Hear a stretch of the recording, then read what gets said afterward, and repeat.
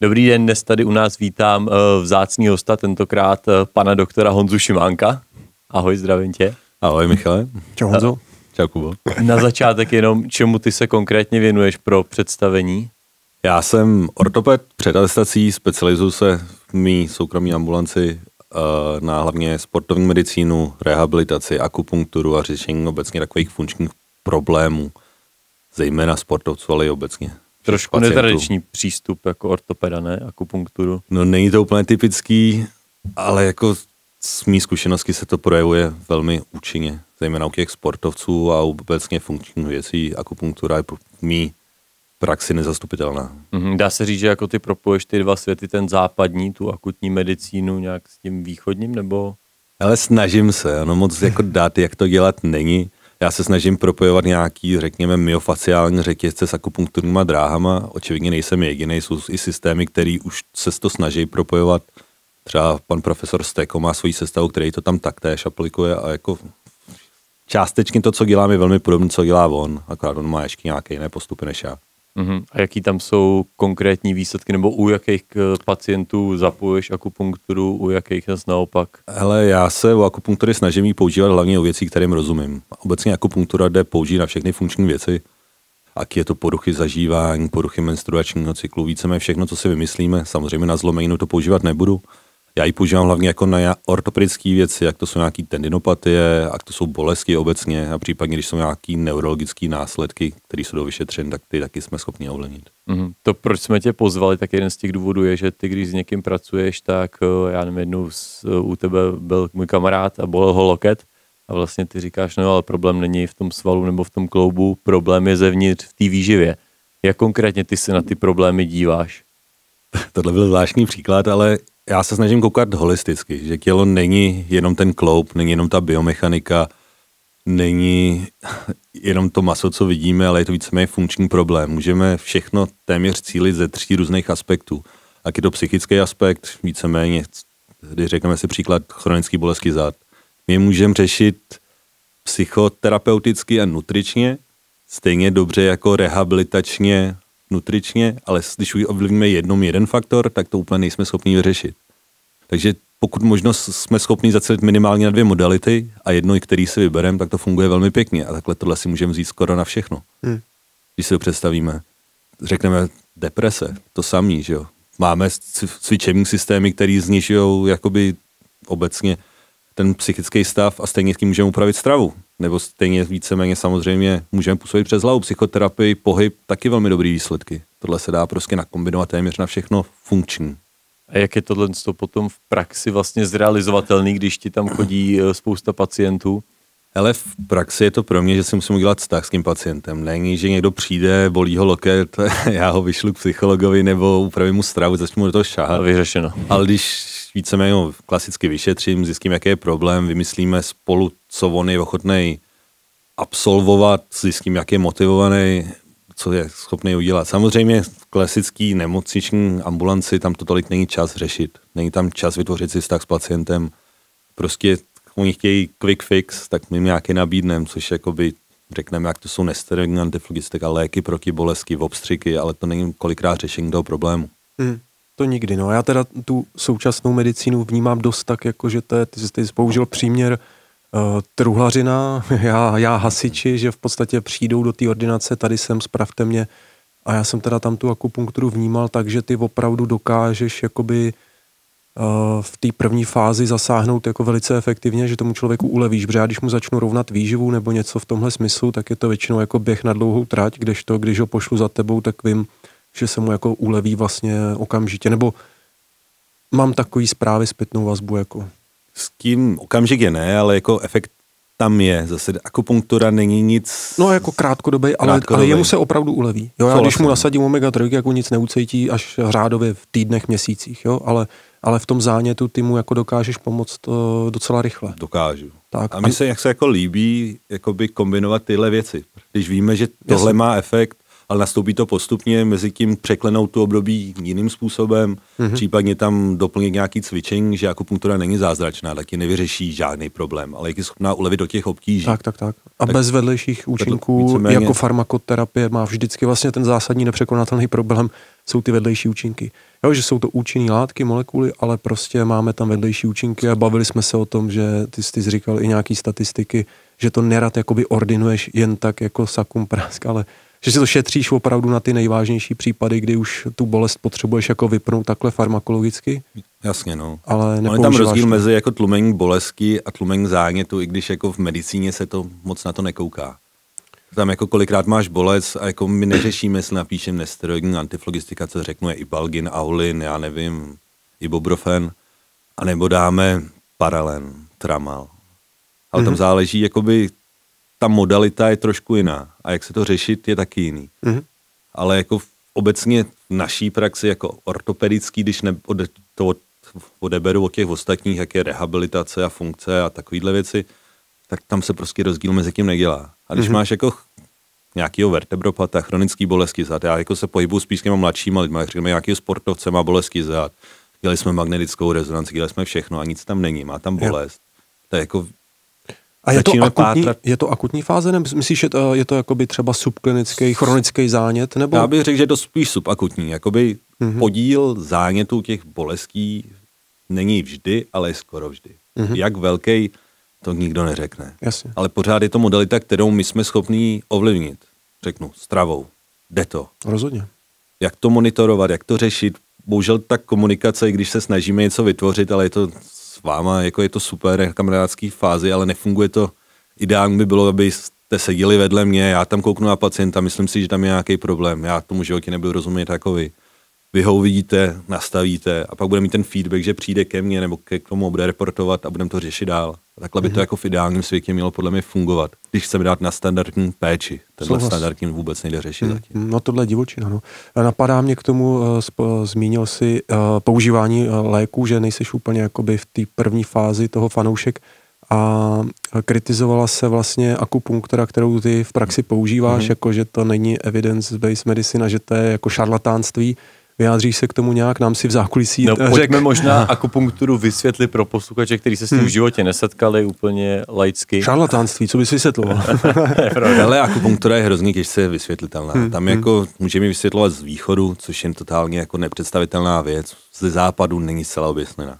Popravdě, jak to funguje, jestli jsou ty akupunkturní dráhy, jestli jsou ty akupunkturní body, definitivně vám to nikdo neřekne. Je to, Není je, to prostě evidence-based přístup. Není to evidence-based přístup. Evidence-based je více na všechny studie ohledně akupunktury, které jako jsou standardizovaný jakoby pro velký kvanta, nemá velký podložení v evidence-based. Hmm, hmm. Spoustu věcí nemá podložení v evidence-based. Může, může se k tomu vyjadřovat někdo, kdo akupunkturu nedělá a má načteno? Já si myslím, že ne. Já jsem tě viděl pracovat a ty napíchneš jehlu a řekneš mi, hm, tady prostě ta tkáň je tvrdá a, a je to jiný člověk. Jako víš, jako můžeš si tohleto jako teoreticky načíst, nebo to musíš jakoby zažít v té praxi, abys to mohl nějak posoudit? Asi jako teoreticky to načíst moc nejde, že jo? Já tam jako myslím. koukáš prostě na ty studie, ale ve studiích máš spoustu věcí, které tam nemáš opřen, jako spoustu vy ty léky. Re- rehabilitační věcí, spoustu léků, jakoby, který Nevíme, jak fungují. Nevíme, jak fungují, ale prostě je používám, protože fungují. Mm-hmm. Ale nejsme schopni vysvětlit mechanismus jejich účinků. Jasně, no. třeba. to ani u acylpirinu úplně do důsledku. A používal se 100 let až v někde 70, na začátku 70. let to bylo trošku jako popsaný. a prostě s lidským těle to spoustu nechápem. My pořád mm. jako nejsme schopni pořádně uchopit mozek a nejsme schopni a v tom důsledku nejsme schopni vysvětlit, jak funguje akupunktura. My jako víme, co se jako ví, že když píchneme aktivní akupunkturní bod, což se obtížně detekuje, Jasně. tak máme úplně jinou reakci na funkční magnetické rezonanci, mm-hmm. než když píchneme o centimetr vedle. Co to znamená? Nikdo neví. Ale víme, že ten bod má prostě jinou reakci. A CNS. Jakože ten mozek se dosvítí místo toho, že by tam, když píchneme o centimetr vedle, tak je tam nějaká menší reakce, spíš bolestivý podnět. A víc, jako ta představa moje o akupunktuře úplně laická, je, že tam jsou, nevím, kde se to vzalo, v těch bodech jsou zaaktivované nějaký dráhy, které mají exponenciálně větší reakci, více než řetězovou. Mm-hmm. A můžeme ovlivňovat cokoliv. Oni jsou s pomocí pět tisíc let vývoje, star, ono se to zase tak moc nevyvíjelo a vzniklo před pět tisíci let systém, který se propracoval, propracovával, přežil a používá se dál, takže tam musí něco být, že to funguje. Mm-hmm. Že bych jakoby řekl, že východní medicína je víc než západní v žádném případě. Mm-hmm. Ale že by se to dalo používat komplementárně a nějaké jejich účinky se šlo použít v současné medicíně, tak to jsem určitě pro. Mm-hmm. A tradiční čínská medicína není jenom akupunktura. Jako když se bavím s váma, ono má pět modalit a je to jak dietika, fitoterapie, cvičení a akupunktura. Že? Mm-hmm. Takže, ale víceméně v té tradiční čínské medicíně, jak nás to učili, by se mělo začínat od co nejmenší invaze. Ta akupunktura je až poslední možnost. Mm-hmm. Takže se začíná od dietiky, když to nejde. Mm. Fito, fitoterapie, cvičení. To nám dále. z toho vypadlo poslední dobu. No, ale tak jakoby my tady mluvíme o akupunktuře, ale ten systém je mnohem komplexnější. Mm-hmm. Že tam toho člověka chceme tak jako polaďovat, aby problém nikdy nevznik. Takže když se to dělá dobře, tak té akupunktuře skoro nikdy nedojde. Mm-hmm. Což já bohužel jsem sklený v akupunktuře a ta tradiční čínská medicína obecně kolem mě jde malinko bokem, ale vnímám, že je to jako handicap, že proto hmm, jako to... hledám ty možnosti okolo. Že? Jo, jo. A ještě mi napadá, ty když potom píchneš tu jehlu, tak ty už na tom odporu něco cítíš, nebo pak jak s časem pracuje ta jehla, nebo jak to, jak to vidíš, jak se ta tkáň mění ti pod rukama, jakoby, dá se to říct? Ale že lidi si to nedokážou, kdo to nezažil, promiň, si to nedokáže představit, já jsem to právě viděl, a myslím si, že to je i jako určitá forma umění, že se to nenaučí každý, že musíš mít nějaký jakoby talent, cit pro to, víru, nevím. Hele, víra asi ne, ale jako je to o zkušenostech. Já, no. Ty body z začátku jsem si měřil, že my víme, že na akupunkturní body je aktivní, má řádově o jeden až dva řády snížený odpor kůže takže my tam pouštíme malinký... Takže ti tam zajede ne, ne, to ne, jako odpor elektrický, takže on jo, má takhle. sondu a my si to vypípáváme, když se začíná s akupunkturou. Postupem času jsem zjistil, že víceméně, když to vyhmatávám ty body, tak to odpovídá cítíš těm bodům, to? takže je cítím. A cítíš to jak? Jako to palpuješ bez téhle s tou jehlou? Nebo? Palpace akupunkturistická je taková, jako levitovská palpace, že je to fakt jako hlazení a my hledáme odpor. Ano, aha, akupunkturistky zkušené říkají, že to lepí, nebo prostě je to cítit jinak. Ten věm se nedá Takže moc se popsat. dotýkáš té kůže? No, víceméně jak... hladím, jedu po ní a hledám ty body. Samozřejmě vím, kde by měly být a hledám je tam, jestli jsou aktivní. Že když tam, že ty body tam jsou, ale neznamená ještě, že bude aktivní. Že když já přejdu potom, tak cítím jiný odpor a tam to vím, že to je. A když tam píchnu tu jehlu, tak prostě člověk, jak napíchal tisíce a tisíce jehel, tak prostě zná ten mhm, odpor té kůže mm-hmm. a prostě když se dostane do toho bodu, tak ta jehla se chytne, že jo. A pak vyjíždí pomalu? Ne, pak více tam, co se tam děje lokálně. Jakoby lokálně víme, že tam vznikne větší množství uh, hladkých svalů a příčně provovaných svalů. Takže více tam vznikne spasmus lokální. Víme věč, zase dále víme, že tam je větší množství mastocytů v tom aktivním akupunkturním mm-hmm. bodu. Takže se více degranulují a vzniká nám lokálně zánětlivá reakce. Kolikrát tam vidíme relativně velký reakce, že je začervenání kolem té jehly, což je dobře. To zase mediátory zánětu, to neznamená, že tam děláme zánět, ale dáváme nějaký impuls pro mozek, ten... aby to řešil. Mm-hmm. Jak to řešil? Jako akupunktura se říká, že normalizuje, takže se tam zásadě jako, neříkám, že se dá nic pokazit, ale snažíme se toho člověka vychýlit z mimo normál, jakoby mimo optimální fungování do normálního fungování. Mm-hmm ale prostě když to tam píchneme do toho aktivního bodu, tak to je úplně jiný pocit, než to píchneme o centimetr vedle. Jo, jo, jo. To je vlastně strašně zajímavý, jak na něco, kde vlastně se ani nedá hledat ta evidence-based odpověď, jí ty lidi pořád chtějí najít, ne? Ale tak já bych ji chtěl taky najít. Hm. Tak, jako my všichni jako, asi, kdo žijeme tady v západním bo, bo, světě. Bohužel tohle není trend, jakoby to zkoumat, jo.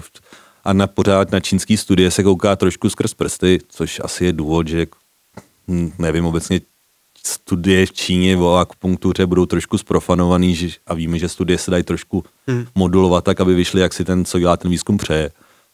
Na západě se to zase tak moc neskoumá, jako třeba v Evropě. Když jako třeba francouzská škola akupunktury je velmi silná. Třeba aurikuloterapie, což je akupunktura ucha, vznikla ve Francii, to nevzniklo v Číně. A je to jejich systém a funguje to výborně. Já to třeba nedělám, že mi to jako nedává smysl ne smysl, mi to dává smysl, je to hrozná piplačka a nemůžu si to představit, nemůžu si to spojit. A třeba moje mamča to dělá velmi dobře a řeší jako spoustu věcí výborně s tím. Hmm, hmm, hmm. Takže zase, když jsou výsledky, nepotřebujeme znát mechanismus fungování, nebo... Hele, chtěli bychom znát, tak, ale, bo, ale bohužel ještě buď videa tam není, třeba nám to časem řekne, že je to placebo, ale kolikrát je jako trošku lepší placebo a kolikrát, když jako tisíce lidí a jako funguje to. Ale není to zázračí, musí to kombinovat, jak to je s rehabilitací, jak je to s nějakýma do, doplňkama nebo úpravou hmm. stravy, když chceme, když ten člověk je motivovaný. Tohle je prostě ne easy fix, ale dá se s tím krásně fungovat. Ale musí to být v kombinaci, jak je to s tou kvalitní rehabilitací, mobilizacemi, technikama měkkých tkání a tak dále. Hmm. Oba jste tady zmínili zánět, tak pojďme možná trošku pro posluchače vysvětlit, co to je, jak se s tím třeba pracuje v ortopedii. Hmm. Kdo se toho ujme já, první? Já teda řeším spíš ten chronický subklinický zánět, který je problém vlastně 100% všech civilizačních chorob je s tím dáván do souvislosti a Honza asi spíš jakoby řeší ten akutní, nebo jak to, jak to máš? Hele, jako ortoped my zánět řešíme, když už tam fakt máme nějakou agenc a je tam zánět, takže to my moc neřešíme. Pak existují záněty, ono už se to moc tak nebere jako zánět, jsou různé tendinopaty, co jsou úponové bolesti, tenisové loket a tak dále, skokanský koleno. Což my víme, že jako v media, jakoby buňky zánětu tam jsou. Řeší se to nesteroidními antiflogistikama, takže lékama na tlumení zánětu nebo obstřikem kortikoidy, takže víme, že tam zánět je. Ale Tohle bych obešel právě skrz působení jakoby prostaglandinu 3 a tím pádem navýšením terapeutických dávek omega-3, tak jak to děláme, zvýšíš polyfenoly a další věci, které to ovlivňují. No. A to bylo krásný, ale jak říkáš ty, ten chronický zánět a ortopedie, o tom se vůbec nic neví. Jo? Jako o tom, já jsem se snažil přijít nějaký studie vztahu jako stravě, doplňku stravy a to jsou prostě nezajímavý témata, protože hmm. jakoby kdo hmm. by je sponzoroval jo, jo, je to tak, no. a tak dále. Přitom je to podle mě hrozně zajímavá oblast. Třeba řekneme si artróza. Artróza o tý nevíme vlastně, jako víme biomechanicky všechno, víme geneticky a víme nějaký podklady, ale jaký má artróza vztah ke stravě? Jako netušíme vůbec nic, jako ani těch studií ani nejsou, že se to těžce zkoumá a hmm. těchto věcí je strašně moc. Hmm. Hmm. Řeknu to samé jako chronický bolesti zad. Jako to je taková, sice je to taková blbá diagnoza na uchopení, ale kolikrát tam není na magnetické rezonanci nic. Ne, ale víme, že jako ty bolesti zad jsou spojeny s nějakou určitou mírou zánětu v těle. Mm-hmm. Víceméně, když to není neurogenní bolest, tak většinou tam je velká část, nebo psychogenní, tak je tam velká část toho zánětu. A jako řešit stravou určitě jde, ale mm-hmm. jak? To, to bych tušil, ale... Jakoby, uh, jestli můžeš tomuhle tématu nějak a pojďme to možná trošku Ale spíše, jak, jak to zmanežovat, jo? Jo, to je složitější. Ne, ne, ono i jako bez, bez obrázků, víš, z našeho ranního školení, že jako představit si ty enzymatické dráhy je těžký, ale je na to spousta výzkumů, ty data na to jsou. Mm-hmm. A v podstatě tak, jak to ovlivňuji já, nebo když řeknu chronický zánět, jak řešit, tak nějakých pět bodů, jestli je dám dohromady. Za mm-hmm. prvý teda ten problém je vlastně uh, ten uh, omega-3 index, který je slabý, to znamená navýšit ve stravě omega-3, uh, zredukovat omega-6, dostat to do nějakého zdravého poměru. Tak tohle, tady tohle to je jen říct, jak moc to je problém naší populaci, jaký ty poměry jako, jsou jako reální, s čím se hmm. setkáváš. A to je prostě problém, s, jako nechci říct ta procent, ale bude se to fakt blížit, jako skoro každý má, má tu disbalanci. A je to daný tím, že se nám vlastně v tom potravním řetězci ty omega-6 jako významně navýšily a tím, že vlastně eh, tím finálním produktem potom ovlivňujeme cyklooxy, cyklooxygenázu 2, kterou ty vypínáš vlastně tou Jasně, farmakologií, no. tak to samý já dokážu udělat v té výživě. A vlastně uh, používají se tam stejné enzymy a, a stejná dráha a ty, když prostě tohle vychýlíš, tak vlastně obsadíš, obsadíš ty enzymy tou omega-6, to je teda dominantně mm-hmm. kyselina arachidovaná, 18 uhlíkatá, 4 vazby, anebo dihomolinolová a zase, jo, a teď prostě takhle jako je popsaná ta kaskáda, je to úplně zřejmý, je to popsané, jak to funguje a tohle já v té výživě dokážu udělat, ale nejde to udělat jako náhodně, jako že řekneme jesme ryby, to prostě nestačí, dneska už je ten svět jako, ta výživa je složitější a ty prostě, když jsi odkázaný na, na terénní stravování, fast food a tak hmm. dále, jak se ti tam propašuje spousta těch olejů, které jsou dominantně omega-6 a to prostě nepřekonáš, to bys musel ty ryby jíst každý den a samozřejmě mořský, tučný, jo, a ne jako farmovaný a tak dále. Takže je to o nějaký suplementaci a je to ještě o nějaký edukaci toho pacienta, aby, aby si dal pozor na to, aby pořád udržel ten poměr, musí být do 4 ku 1, aby to fungovalo. A třeba časově, kdybychom to optimalizovali dle možností, co nejlíp dokážeme. Ten efekt nastane za jak dlouho potom? Já mám zkušenost, že ten zánět vypnu zhruba jakoby za týden, když mm-hmm. opravdu použiju ty terapeutické dávky, což jako normální člověk nikdy neudělá, protože by mu přišlo šílený to takhle nadávkovat. Mhm. Jo? A pokud bys to používal profilakticky, jako že bys Mhm. mm-hmm. používal nějaký preventivní dávky dlouhodobě, tak to bude fungovat taky tak, protože pak bys tobě nebude, mm, tobě nebude stačit ani nějaký mechanický přetížení. Že Mhm. sportovci si často myslí, že něco jako mechanicky špatně udělají, nebo to nějak přetížili. Ne. Prostě většinou je to na podkladě opravdu té mizerný výživy, je to s Jo. tím propojený. To je těžký odlišit, že jo? Jako subjektivně to vnímání těla to Jo. zase přechází tak volně mezi sebe, že jo? Aha. A druhá věc, co mi tam napadá, tak navýšení polyfenolů, eh, stovky, stovky látek. Mhm. Mm-hmm. A my jsme to teď vyřešili v novém produktu, že jsme to spojili dohromady, takže je to opravdu jako protizánětlivý Mhm. mm-hmm. a antioxidační produkt. A pak určitě si dávat pozor vlastně na procesní kontaminanty, ty víš od profesorky Hajšlový, co jsou vlastně jakoby mm, produkty, které vznikají a, většinou v těch fast foodových technologií Mhm. a zase prostě lidi ne, nemají úplně základní mm, povědomí o tom, jak s tím jakoby kulinárně pracovat. Takže i když máš třeba relativně kvalitní tuk a přepálíš jak si jako dost škodíš. Mhm. A to nemluvím o tom, o, o tom fast foodovém stravování nebo o tom, že bys jako neměl úplně používat friťák a tak dále. A, a pak další věc, že imunomodulace, tak jako velký problém, co dřív nebylo, tak dneska vlastně o, lékaři jako bíjí na poplach, že už nemají tak problém s tím, co bylo historicky, ale že se objevují různé imunitní vlastně anomálie a to znamená autoimunitní zánět vlastně. Mm-hmm. Takže tohle to řeší eh, historicky, ty, nebo takhle, v mý praxi s tím nemají problém lidi, kteří jakoby žijou takovým tím přirozeným způsobem života někde na vesnici, prostě moc ani jako neřeší stravu a prostě tam někde seká dříví mm-hmm. v lese, tyhle mají vždycky ty markery v pořádku. Jo, ale jakmile seš ve městě, v takovém tom prolongovaném stresu, vypadne ti z toho takový ty podněty, které tam byly, třeba beta-glukany, Mhm. Tak najednou ta imunita jako, jako by se začne nudit a možná, a samozřejmě pak tam musíš mít i velmi často nějaký ten genetický podklad, ale pozorují to tam. Takže další, další typ je jakoby vrátit do té stravy beta-glukany, ať hmm. už tím, že jíš nějaký houby, nebo prostě si, si je koupíš jako v doplňku stravy. 1, 3, 1, 6 musí být. No a pak teda cukr, jako velký problém. Lidi řešejí, kolik tuku, kolik cukru, jestli Jasně. tuk je zdravý, nasycený, nenasycený. Ale to, mohli bychom o tom diskutovat a záleží, ale cukr bude škodit vždycky. Prostě to je jakoby velký problém. A je úplně jedno, jestli sportuješ nebo ne. Jako ten sportovec má tu výhodu, uh, že ten cukr jako použije vlastně jakoby palivo, Mhm. takže to, takže to vypálí, ale jinak prostě pro, pro to tělo je to vždycky zátěž. A pak se můžeme bavit o tom, jak kvalitní vlastně ten cukr používáš. Ale Možná pro někoho Hmm. jsou to až jako senzační informace, že hele, tady Jo. ta omega 3 má jako vyřeším všechno.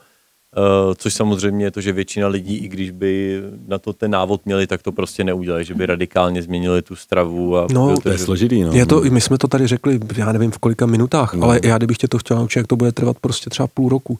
Jo, protože ty si to musíš jako, nějak to musíš za sebe pochopit, pak to začneš jakoby v tom, v těch režimových opatřeních nějak hledat a, a pomaličku měnit. A nestane se, to si nekoupíš jako dneska. A to by To musíš odžít, to musíš odžít, jo, jo. A proto se mi líbí, Hele, a s jakou formou, když řeknu procentuálně, kdyby jsme dali tři lehké doporučení a suplementaci, jak, na jakou Jo. úroveň si se schopný dostat té redukce toho celkového stresu, té inflamace, ta, sorry, zánětu.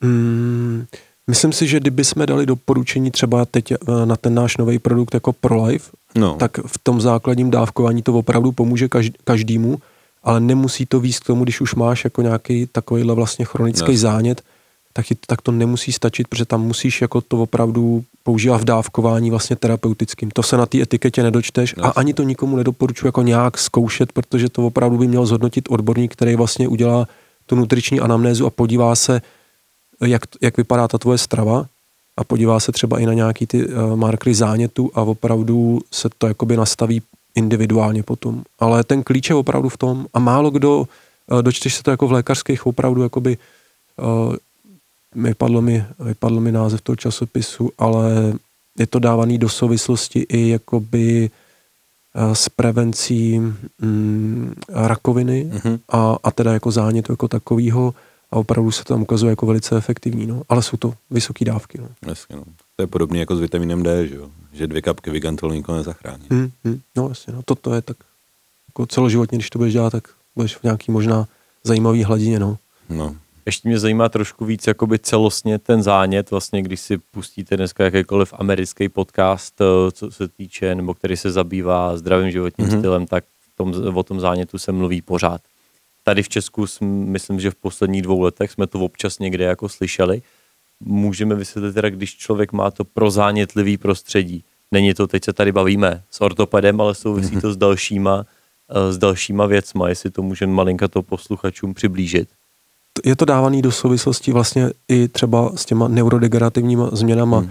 Mozková tkáň, cévy, ateroskleróza, ateroskleróza, přesně tak. Tam prostě tam nejde o zvýšený cholesterol, jo? tam jde o ty modifikované částice, LDL částice a to prostě zase, to je zánět. A ty to dokážeš chránit jak zvýšenou antioxidační kapacitou, tak i tím, že třeba zvedneš HDL frakce a budeš se snažit prostě, aby se ta céva jakoby čistila a takových věcí. Můžeme se bavit jako o proliferaci buněk, o ochraně DNA, o, o apoptóze, mitóze. To prostě nemůže probíhat bez tady těch látek. A v současnosti jako je pandemie demencí, jak to řekneme, ale zemra a tyhle věci, mm-hmm. stejně jako kardiovaskulární onemocnění, taky na podkladě aterosklerózy, takže místech, to vidíme, no. jako, že tam ten vztah mezi tím zánětem jo.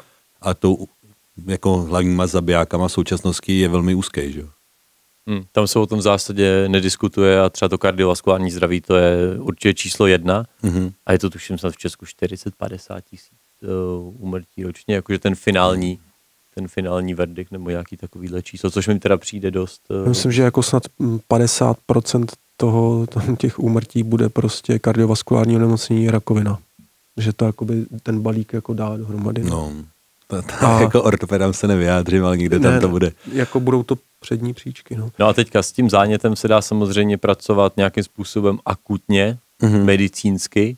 A potom to, co zmiňoval jako Jakub, jako prevenci, tak prevenci jsme nějakým způsobem probrali.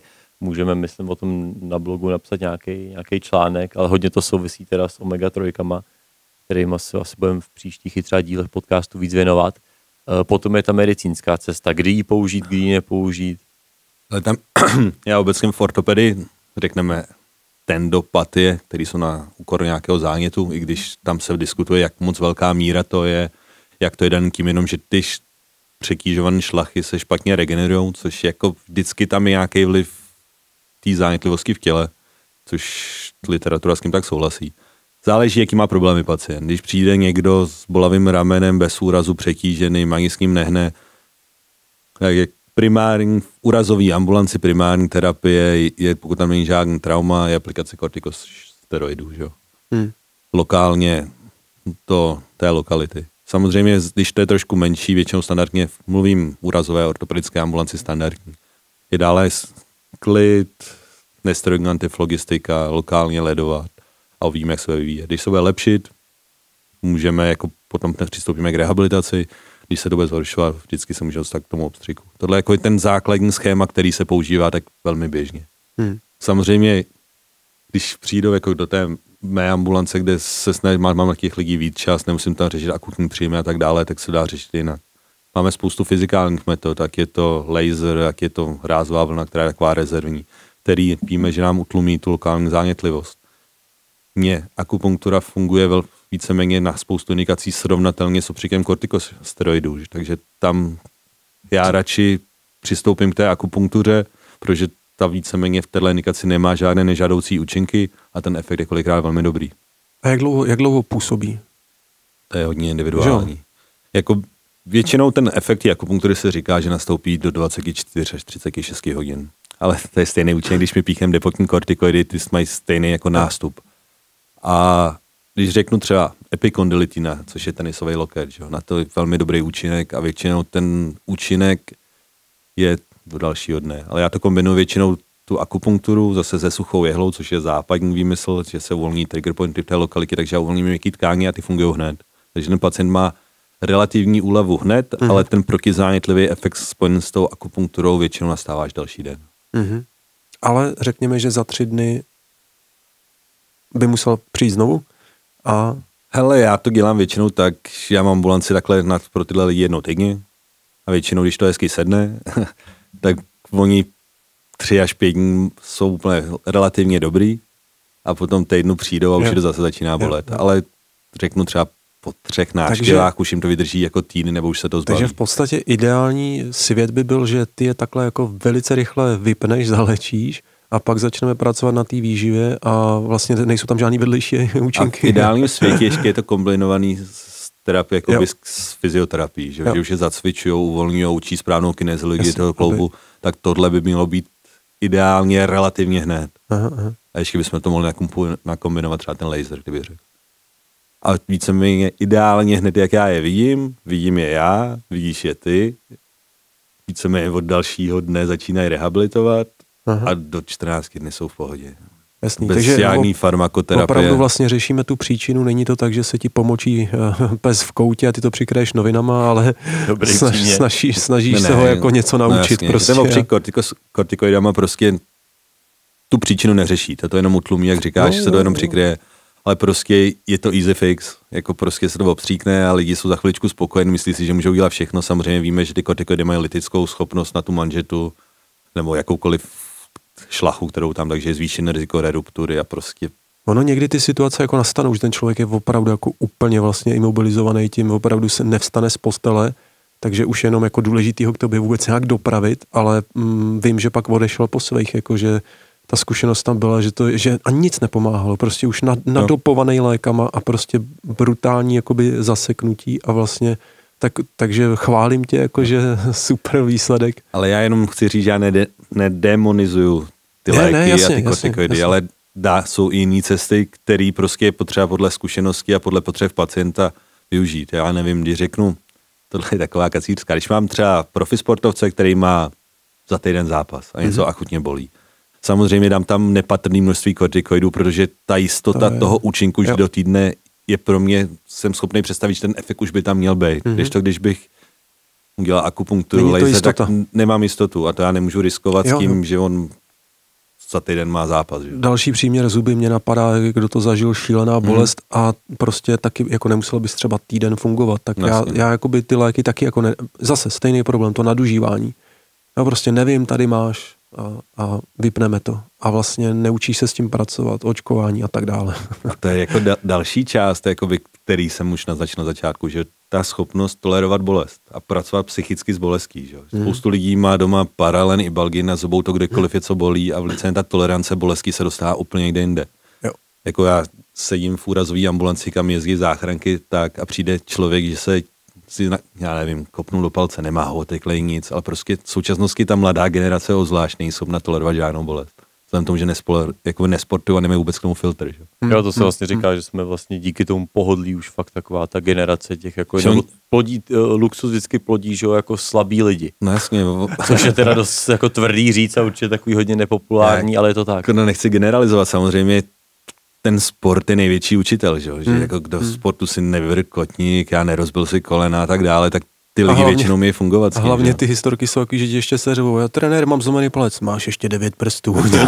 Přesně dá, ale, ale, že tam to nikoho to nezajímá. No, jasně, no, jako, jako, kolikrát mě jako překvapí, co přijde do ambulance, jen si člověka klepe na čelo, jako Uh, Proč, že? Tak můžeš jako vychovávat, no. Ale blbý je, že bolest nebo taky nemá definici, že jo? Ne, to každý, Definice každý může vnímat jinak. nepříjemný pocit, že jo? Já, a od jedničky do desítky na vizuální analogické škále tady je smutný smajlík, tady je veselý smajlík. A je to tvoje, tvoje, tvůj když, pocit. A on když přijde a řekne, že ho to bolí na 10, tak i když vypadá, že je úplně v pohodě a je to největší bolest, kterou může začít, to tak, být? tak to prostě také. No jasně, no. A to je, je jako... Jo, nic s tím neuděláš. No. Já jako vycházející z kontaktních sportů a tak dále, tohle je pro mě úplně uchopitelný. Prostě, že my nemáme nic lepšího, jak monitorovat bolest. Než když, jak nám ten pacient jo. řekne, že ho to bolí. Ne, to a podle toho se používá i jako ve všech studiích a tohle je jako evidence-based. Jo, přesně. No, že my nejsme schopni to kvantifikovat. Snížila se bolest o 22%. No a to říkal, že tenhle smajlík se mu nelíbí, takže já tohle smajlíka. Jo, když potřebuješ, aby to tak vyšlo, tak to tak vyjde prostě. To nemyslím, ale prostě ne, jako ne. Nemá, neumíme to měřit. Jako empiricky hmm. ta bolest je hrozně, prostě hmm. jako nevím, ale co jsem potom tak pátral, tak jako by nejsou tam faktory, jak to změřit, jak to je třeba zvyšený srdeční rytmus a tak dále, to není, není přesný, že jo. Hmm. Hmm. Dneska mi přijde, že spousta lidí furt je něco bolí. Máš taky ten pocit, nebo čím to, když tak je, mně přijde každý druhý, tady nemáš číslo na fyzioterapeuta, já furt doporučuji tebe, nebo ještě dva, tři Hele. kamarády a oni mají všichni narváno. Já tím, jak jsem, jsem ortoped a víceméně já se starám o ty lidi, co je bolí, takže vš, víceméně, když se mi někdo volá nebo píše, tak je to většinou, že něco bolí, že jo. Tak já nemůžu dělat si jako, že všechny, všechno něco nějak bolí, ale asi jako těch problémů je víc, že jo, sedavý zaměstnání, omezený pohyb, když už pohyb, tak jako ty, kolikrát ty lidi nemají za, jako správné návyky toho pohybu a je to prostě problém, no. Hmm. A já jsem taky jako si vytrpěl svoje a to jako se snažím vzdělávat, vím o tom po, relativně dost, byl jsem u specialistů, ale taky mi byly věci, že? Stane se. Dneska asi, asi normální stav. Ještě mě možná napadá uh, k tomu zánětu, uh, když bych byl like, který tomu vůbec nerozumí, mm-hmm. jaký jsou vlastně ty faktory, který uh, tvoří třeba to pro zánětlivý prostředí, nebo jak to na sobě poznám.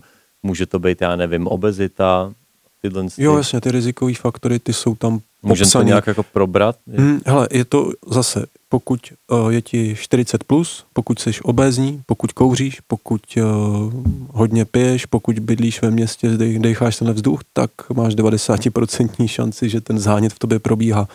A vím, že ještě zubaři říkají, že nejčastější zánět celosvětově je vlastně jakoby zánět dásní. Že tam, tam, jsme, Oso, jako, no. tam jsme jako úplně ke 100% všichni, jako, ať je jedno, jestli seš dítě, senior nebo to. A vlastně to tělo s tím pracuje furt. Prostě to není jako fyziologický, to je patologie, takže na to jako reaguje a samozřejmě se teď hledají další souvislosti, na co všechno to má vliv. A dá se s tím, dá se s tím pracovat, no. I u těch, u těch zubů a to, to ty zubaři jako tě vybaví dneska, řeknou, hele, zvyšte koenzym nebo ubiquinol, prostě dají ti tu informaci, jako už, Fakt, jo. jo, jakože ty, co se vzdělávají. Jo, Jo. já si vždycky žijem v těch, v těch nějakých našich bublinách, protože Honza za mě je jeden z mála doktorů, který se snad dvě, tři hodiny denně vzdělává. Několikrát jsme posílal podcast, já nevím, tamhle s americkým Jo. doktorem nebo něco, což není úplně standard, ne, mezi dvěma kolegama. ale je, Jo. jako víceméně, když to řeknu obecně lékaři, jako aspoň v ortopedii jsou velmi ambiciozní a medicína prostě není to, že bychom se z- nezlepšovali. Víceméně každý z nás se snažíme nějakým způsobem vzdělávat a posouvat se dál.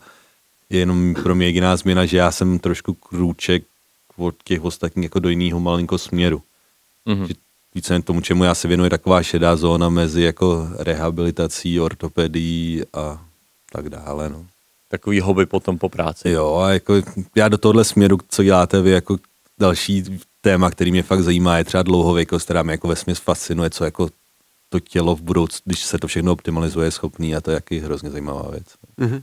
A tam víceméně to, co jsme říkali o zánětu a tak dále, je prostě Souvisí. téma číslo jedna, že? Je Když to se tak. koukneš, jak se stravou ty zelené zóny, že? kde se dožívají nejdál, to je víceméně něco, co si vymenoval, že?